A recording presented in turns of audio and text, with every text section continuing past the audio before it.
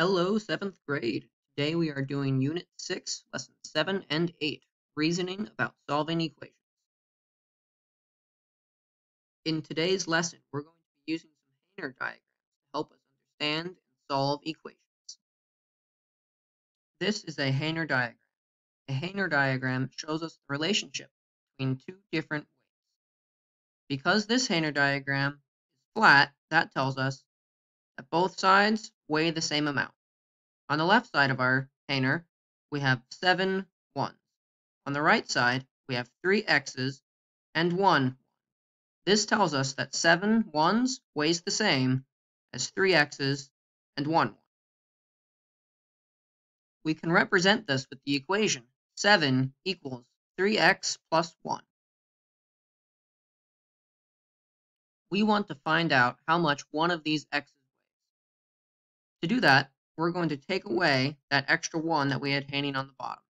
However, because our hanger needs to weigh the same amount on both sides, we need to take away the same amount of weight on the left side as well.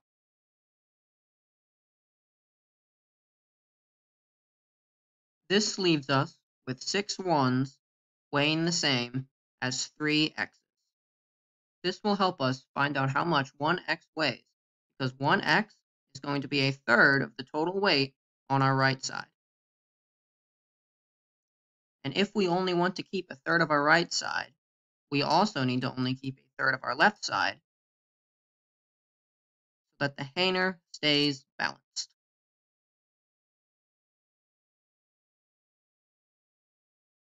This leaves us with a balanced with two ones weighing the same as one x, represent with the equation 2 equals x.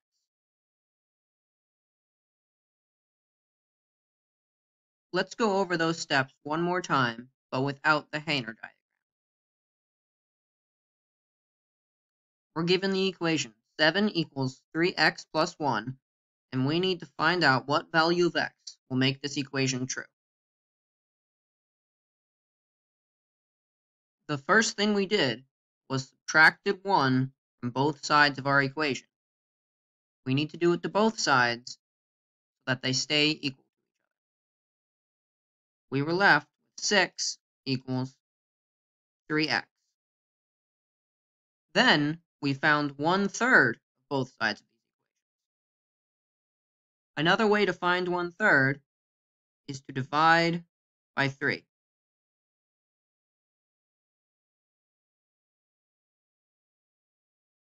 This left us with 2 equals We can check to make sure this solution is correct by substituting this 2 for x in our original equation. So we can see that our solution is correct because 3 times 2 equals 6 plus 1 equals 7. And 7 does equal 7.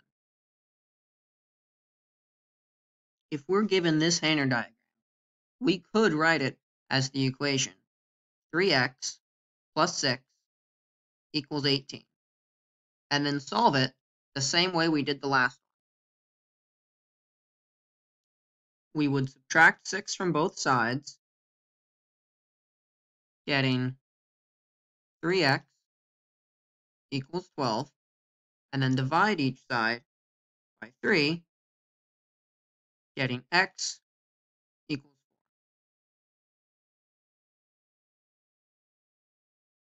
4. Instead, we're going to notice that the left side of our hanger consists of three groups of an x and a 2.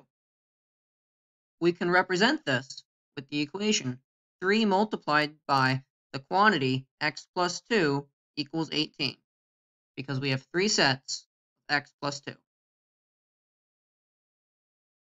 one set of x plus 2 is going to be one third of the weight of our whole left side.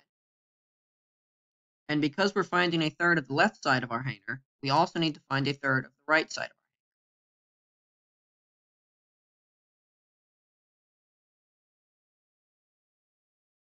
We can do this by dividing both sides of our equation by 3. This leaves us with one set of x plus 2 on the left side, and 1 third of 18, or 6, on the right side. To get x alone, all we have to do is subtract 2 from our left side, and to keep it balanced, also subtract 2 from our right side. This leaves us with a balanced hanger with x on the left and 4 on the right, or the equation x equals 4. The most important thing for you to remember from today's lesson is that whatever you do to one side of an equation, you also need to do to the other. Just like the hangers, we need to keep them balanced. Have a nice day.